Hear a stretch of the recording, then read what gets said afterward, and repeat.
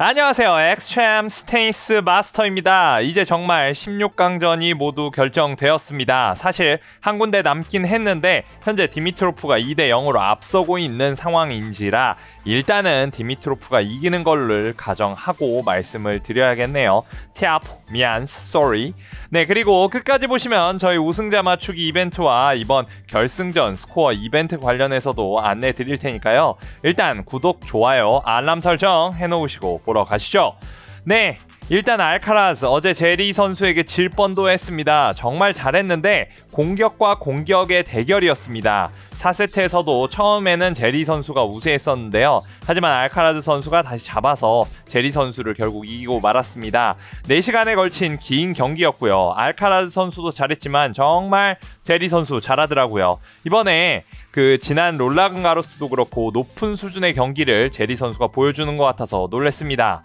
그리고 베레티니 선수 사실 최근까지 부상으로 많이 잊혀졌었죠. 몬테카를로 오픈 이후 복부 부상으로 제대로 대회에 출전하지 못했었습니다. 그 이후 잔디 시즌에서 처음으로 복귀를 했는데요. 하지만 1라운드에서 같은 이탈리아 소네고 선수에게 바로 패배했습니다. 그 이후 나온 게 윈블던인데요. 경기력도 올라오지 못했어야 정상인데 이상하게 그랜드슬램에서 베레티니는 강합니다. 1라운드 똑같이 소네고 만났는데 3대1로 이기고 이후 15번 시드 드미노 선수와 즈베레프 선수를 다 3대 0으로 잡아내면서 올라왔습니다. 이제는 알카라즈와 베레티니가 만나게 됩니다. 사실 둘은 3번을 만났고 알카라즈가 2승 1패로 앞서 있습니다만 베레티니 그랜드슬램에서는 또 강한 모습을 많이 보여줬어요. 지난 9번 그랜드슬램 대회 중에 8번을 모두 2주차까지 경기를 했었고요. 여기에는 3번의 8강, 호주 오픈의 준결승, 그리고 윔블던에서의 결승도 모두 포함이 됩니다. 그리고 베레티는 과거 알카라즈를 두고 1승을 했었던 게 호주 오픈입니다. 그때에도 가까스로 5세트 타이브레이까지 가면서 베레티니가 진땀승을 거뒀는데요. 이 선수 범상치 않다라고 생각했었다 합니다. 어떤 모습으로 알카라즈를 다시 상대를 하게 될지 기대가 되네요. 그리고 홀거 루네와 포키나의 경기 거의 결승과 같은 경기였습니다. 마지막까지 혈투를 벌였는데요. 5세트 타이브레이크는 7점이 아니라 10점을 내야 하는 건데 여기에서 서로 8대 8인 상황에서 포키나 선수 갑자기 서브를 언더 서브를 시전합니다. 홀거 루네는 재빠르게 뛰어와서 바로 패싱을 날렸는데요. 그리고 바로 그 다음이 루네 선수의 서브권이었고 10대 8로 마지막 타이브레이크를 루네 선수가 가져왔습니다.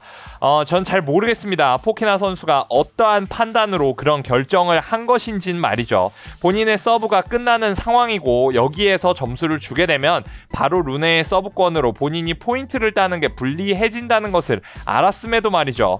뭔가 분명 제대로 대응을 하지 못할 것이다 라고 생각을 했는데 생각보다 언더 서브가 길게 갔고 루네가 재빠르게 뛰어왔습니다. 루네는 끝나고서 자기가 했던 경기 중 가장 재미있는 경기였고 서브가 그렇게 올 줄은 정말 생각조차 못했다고 했네요. 아직 하이라이트는 안 올라온 것 같은데요. 꼭 보시면 좋을 것 같습니다. 그리고 매드베데프죠. 올해 처음으로 메이저 대회 2주차에 진입을 했습니다. 진땀승을 하고 올라온 레치카 선수를 만나게 되는데요.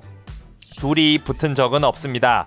레치카 선수도 다른 신성들보다는 많은 주목을 받고 있진 못하지만 정말 잘 치는 신성입니다. 지난 2023년 호주 오픈에서 레치카 돌풍이 있었죠. 이번에도 메드베데프를 이긴다고 하면 또 돌풍이 될 것 같은데요. 물론 사실 메드베데프가 올라가도 돌풍입니다. 이렇게까지 올라올 줄은 몰랐으니 말이죠.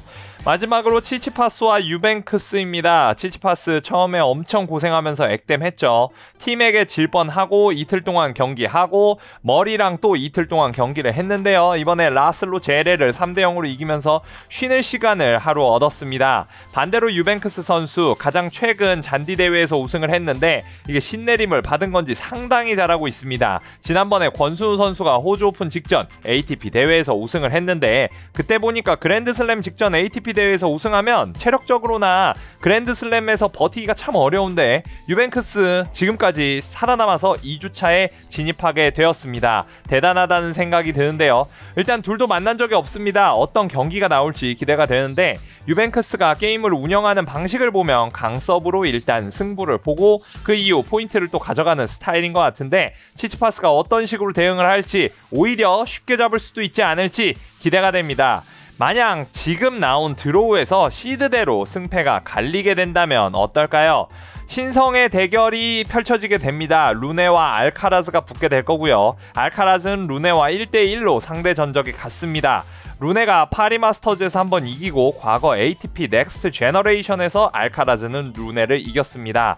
정말 이젠 그 next generation이 윔블던에서 맞붙는 거죠. 그것만으로도 엄청난 이슈가 될 것 같은데요. 서로의 공격력과 엄청난 체력, 결국은 정신력으로 마인드 컨트롤을 잘한 사람에게 승리가 가지 않을까 싶습니다. 예상하기는 너무 어렵네요. one-hand 소년가장 치치파스와 메드베데프의 경기도 명경기가 될 겁니다. 메드와 치치파스는 상대 전적이 8대4로 메드베데프가 상당히 앞서지만 특이점이 몇 개 있습니다. 일단 둘은 잔디에서 붙어본 적은 없고요. 원래 메드베데프가 계속 이기다가 어느 순간부터 치치파스가 메드베데프를 이기기 시작했습니다. 초반에 모든 역경을 다 딛고 올라온 치치파스가 일종의 액땜으로 한 거라 생각하면 지금 승리의 여신 운빨까지 같이 가지고 간다. 라고 하면 치치파스를 메드베데프가 이길 수 있을까요? 메드베데프도 처음 올라온 16강, 8강에 아마 엄청 떨릴 수도 있을 것이거든요.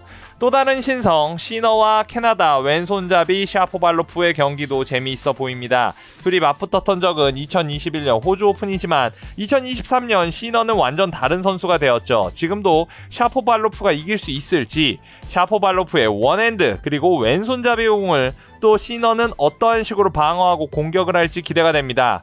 마지막이죠. 조코비치와 루블레프입니다. 2023년 호주 오픈에서 이미 붙었죠. 네, 제가 썸네일 루블레프 선수가 우는 형식으로 해서 만들었던 게 기억이 나는데요. 어, 루블레프 선수 정말 그때 아무것도 하지 못하고 실력 차이를 보여주면서 지고 말았습니다. 상대 전적은 그래도 루블레프가 한번 이긴 적이 있긴 하지만요. 당시에 조코비치가 백신을 안 맞아서 호주 오픈에 못 갔을 때이고 그때는 경기력 자체가 많이 떨어져 있어서 두바이 오픈이나 몬테카를로 오픈에서도 제대로 된 실력을 보여주지 못했을 때입니다. 지금 조코비치를 루블레프가 감당할 수 있을지 유일하게 루블레프가 조코비치를 꺾고 우승했을 때 나는 그와 더 많은 경기를 펼치기 바란다 라고 말했는데 말이죠. 지난번에 호주 오픈에서 처참히 깨졌 있었는데 복수를 할 수 있을까요?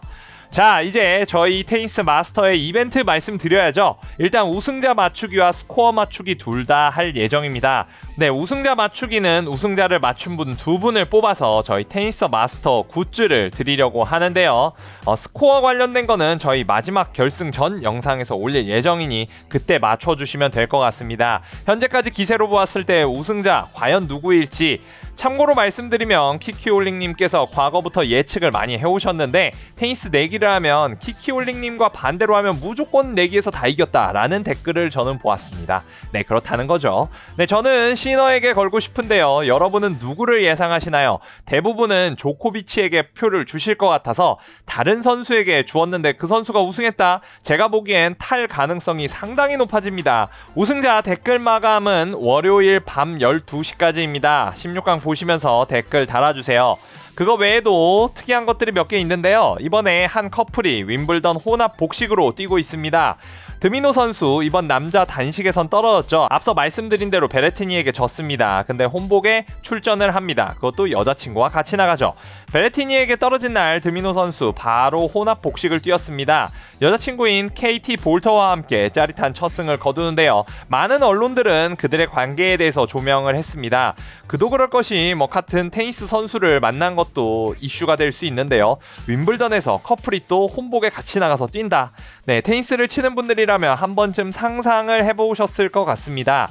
나의 배우자나 커플이 함께 테니스 치는 것, 그리고 또 거기에 나아가서 동호인 대회에 함께 홈복으로 나가보는 것, 그리고 거기서 우승하는 것. 아니 근데 이게 동네 대회가 아니라 윈블던이라니. 여튼 사랑의 힘은 대단하죠. 이제 그들은 두 번째 라운드를 준비하고 있습니다. 기본적으로 사람들에게서 많은 관심을 받지는 못한 호남 복식이긴 하지만요. 이렇게 테니스계의 유명 핵인싸 커플들이 나오면서 재미를 배가시키는 것 같습니다. 실제 중계는 안 해주지만 현장에는 사람이 많지 않을까 예상이 되는데요. 원래는 치치파스도 그의 오랜 연인인 파울라 마도사 선수와 함께 출 출전을 하려고 했었죠. 하지만 바도사 선수가 2회전 경기 도중에 허리 통증 때문에 기권을 하면서 혼합복식 출전을 포기했습니다. 찾아보면서 알았습니다. 둘이 SNS를 같이 운영하고 있는데요. 그 SNS 이름이 치치도사입니다. 네, 치치도사님께 한번 이번 윈블던 우승이 누구인지 물어봐도 재미있을 것 같네요. 아니 무슨 계정 이름이 배추도사 무도사에 이어서 치치도사야. 에헴.